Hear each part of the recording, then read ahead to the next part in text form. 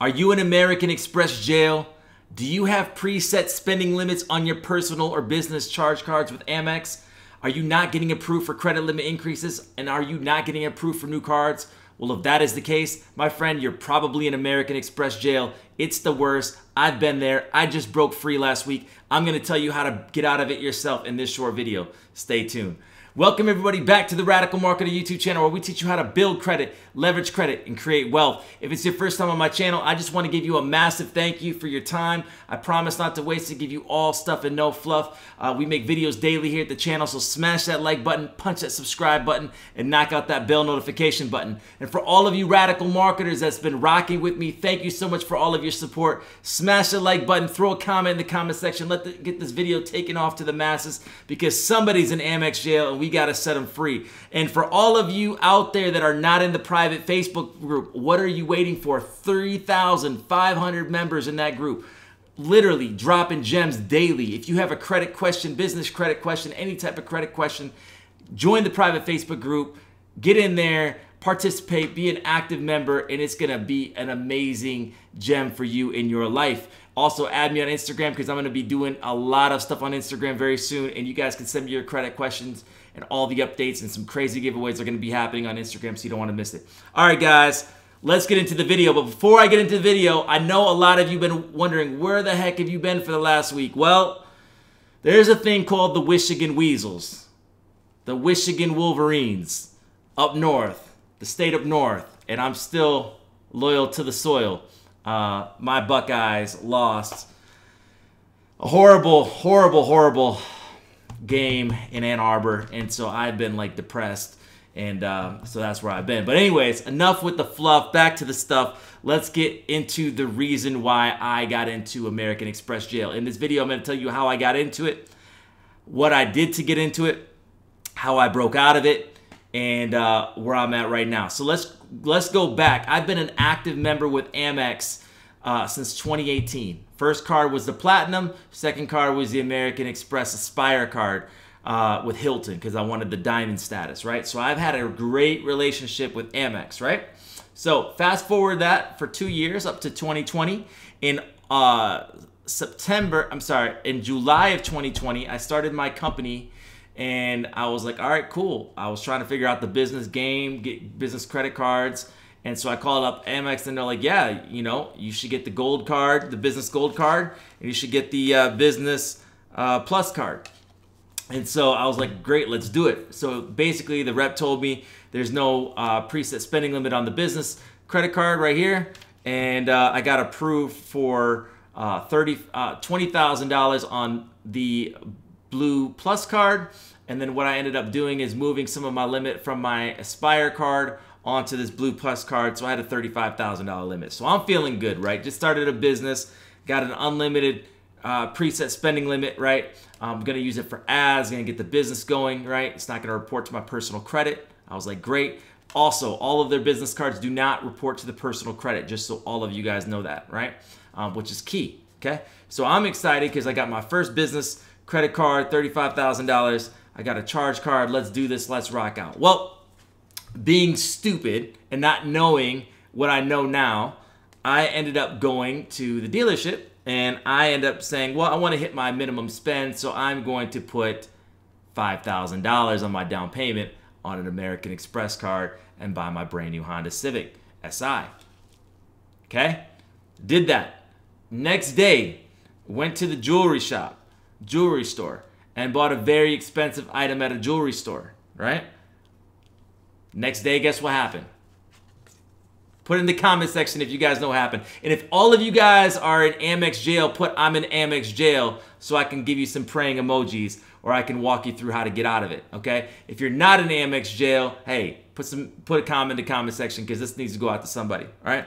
Basically, what had happened is I tried to hit my minimum spend by purchasing jewelry with this card and by using a down payment on a uh, on a, a car with this card, right?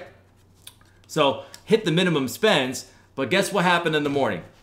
I woke up to an email, the dreaded email of a manual review. They wanted my tax returns, all of that, right? Well, I provided everything to them, and guess what they did? They slashed my $35,000 limit down to 4,000 and they smashed my no preset spending limit to 4,000. I'm grateful I got 8,000 on the business side that doesn't report to personal credit, but there's not much you can do in business with that much on these cards, right? So what had happened then um, is I called the reconsideration line. I called to the team. I spoke to management. Nobody would help me out, right? Nobody would help me out. And so I literally was in Amex jail. I was ticked. I was pissed. And so I would use my gold card a lot, right, for the basic stuff because everybody knows MR points are worth a lot. But I'm I'm ticked, right? Uh, I'm in Amex jail and I can't get out of it. I can't find a YouTube video. I can't find a thread on on on Reddit. I can't find anything right on this. Nobody's really talking about this. All they're like is you don't want a manual review, you don't want to be blacklisted, yada yada yada. So hopefully this video is inspiring you. Smash that like button right now. We need to get this video out to everybody. Everybody smash the like button. All right, so fast forward from 2020, August of 2020 to November of 2021, right? Last week, your boy just thought to do this. Well, number one, I had paid my annual fee on my gold card. I had tried several times to get the, the plum card. And I tried credit, credit limit increases. These cards were stuck, people. There was no credit limit increase happening on these cards whatsoever.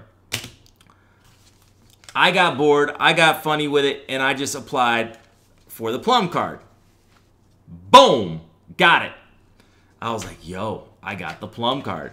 So then you know what I did? I said, well, you know what? I'm going to be traveling here soon and I want to start building back my relationship with Amex. Let's just see if I can get the business platinum card. Boom! Got the business plat card. Same day. Same day, people. Then I'm like, hmm. Well, I'm in this business plum card is going to help me with cash flow because I don't have a bill but every two months, right? And I just got to make a minimum payment, which is nothing on the card, right? So every two months, and then it's like 1.5% cash back uh, if I if I don't do the whole two months, and I yada yada yada. I'll get into it in another video. You guys gotta watch my plum video. I got the plum card, right? So now I'm rocking with two cards. So now I have four Amex cards. I'm like, great, this is wonderful. And then I'm like, well, there's another sign on, a huge sign on bonus for the Hilton card. I'm like, boom, let's get it. Because guess what? All three of these cards don't report to the personal credit. Then I had a brilliant idea. I said, man, I would love to have the green card because all of you haters out there that don't like the Amex green card is sleeping on it. The Amex green card, watch my video about why the Amex green card is probably one of the biggest sleeper cards on Amex. And I got the green card. I'm just waiting for the mailman to come, right? So then I said, well, I want to do this. Why want to do this? So now I have four brand new cards with Amex. So I tried this. I tried to get a credit limit increase on this card. Denied. Okay, denied. So I said, hmm, if I can't get a credit limit increase on this card, let me try to transfer the credit limit from this card to my new business uh, Hilton card. Denied. You know why the denial was? Cannot transfer credit limit from a preset card that has a preset uh, spending limit on it.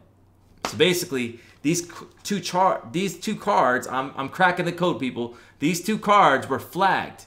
There would never be a credit limit increase on them. It, it was what it was with these accounts. So I called up Amex. I said, I want to cancel it. And she's like, why? It's a great card. And it is a great card. But I'm not going to keep a card on my file that's flagged.